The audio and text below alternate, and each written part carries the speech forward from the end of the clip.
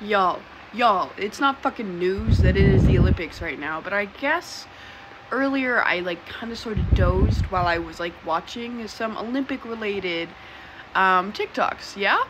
So here it is. This is me sending sending messages to NBC Olympics and Paralympics, yes? Look, look, look at what my messages are. Just wait. It's just more of these.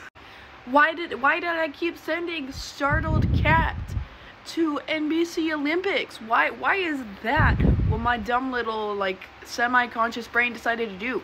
Because I literally sent so many of these that like NBC was like, you know what? Stop messaging us because like in like the little notifications things which I didn't want to show because I didn't want to go through the effort of like putting little lines through my friends' names on here or whatever.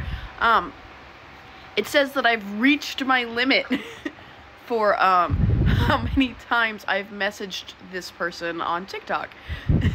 Especially considering that NBC Paralympics Olympics very much did not feel like responding to my endless barrage of just fucking cat memes.